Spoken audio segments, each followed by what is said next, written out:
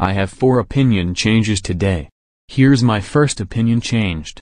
I'm starting to lose interest on Marion from making fiends. Why? Because she started to be friends with Vendetta instead of Charlotte, even though she's my number two hated character, I might be using her as a grumpy hero. Here's my second opinion changed.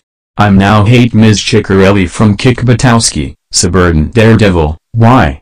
Because according to Junior Polk the Alfred Betts and Bunnicula fan, she gets all kids in trouble, and she tells Kick's mom lies about him because she hates him and wants to see him punished. She's way worse than Mr. Kittles. And I prefer Kick, Gunther, and Kendall better. So this means she's the hated Kick Buttowski character next to Brad Buttowski.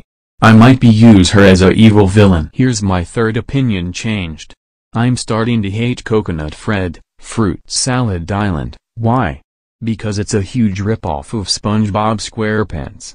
Which is way better. And here's my fourth and last opinion changed. I'm now hate Big Jack Horner from Puss in Boots, The Last Wish. Why?